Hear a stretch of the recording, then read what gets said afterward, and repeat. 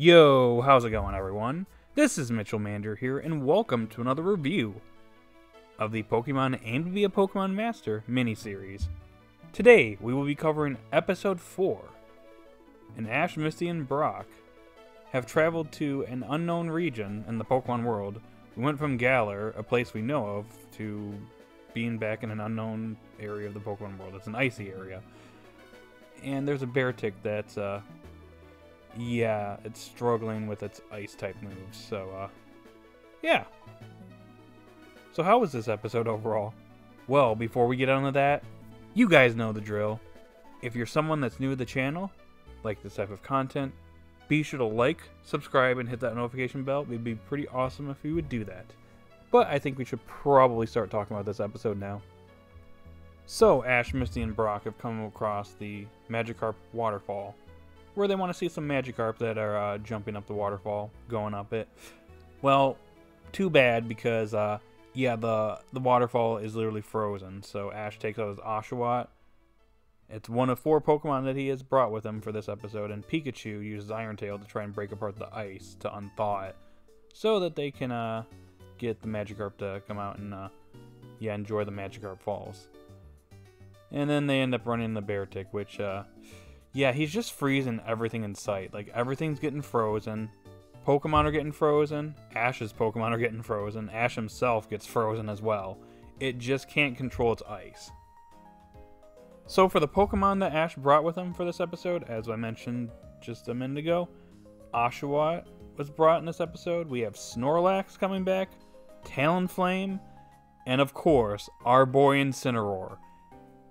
It's finally time, and Incineroar is here. He's finally gonna battle. He's finally gonna do something, and he's pretty much a heater for the episode.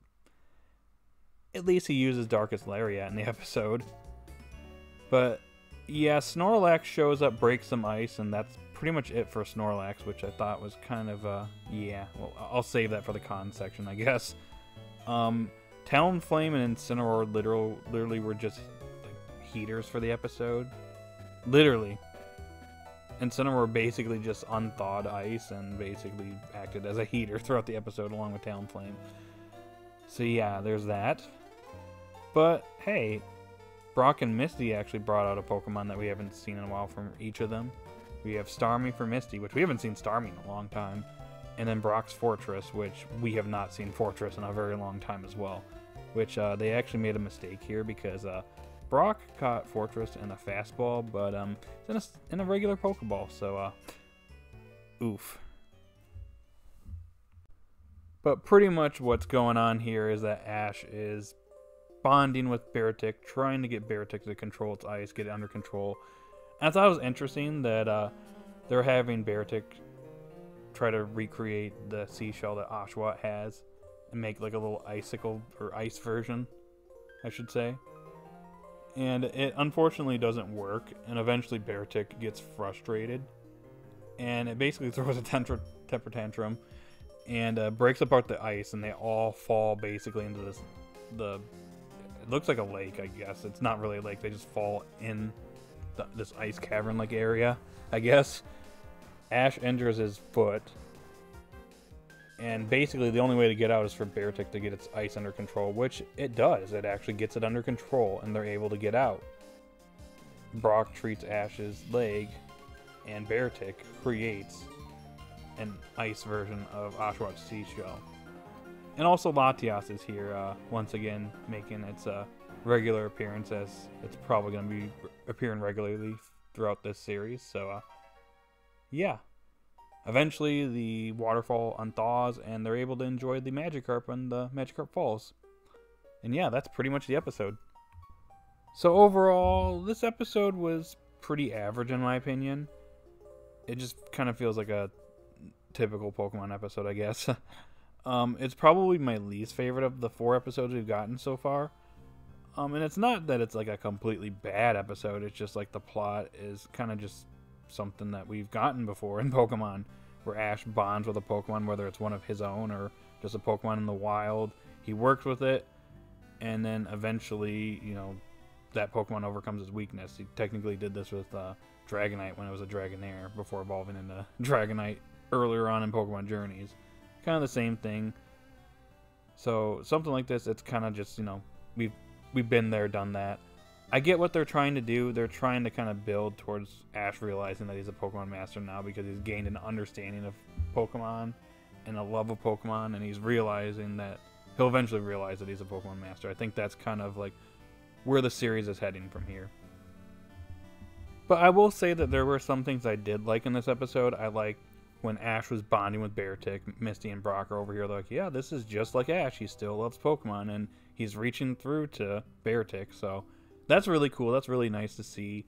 Um, Oshawott, out of all the Pokemon, I felt got the best shine here. I really like that uh, seashell was basically the basis for uh, Beartic getting its ice under control, and eventually it creates an ice version of the seashell. So that was really cool. It was really nice. So yeah, way to go, Oshawott, the uh, MVP of Ash's Pokemon in this episode. One thing I will say I didn't really care for in this episode was once again how Ash's Pokemon were being utilized. Oshawott, awesome. Snorlax was kind of just there for just breaking ice, and that was it.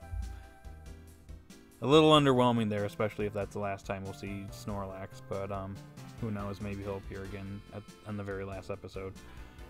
But yeah, that was a little bit on the underwhelming side. Uh, Talonflame, really not doing a whole lot either it along with Incineroar were pretty much heaters throughout the episode.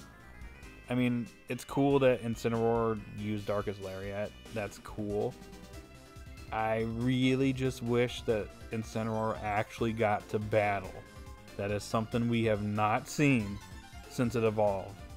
I have been waiting and waiting for Incineroar to battle. I was hoping that Incineroar would participate in a PWC match.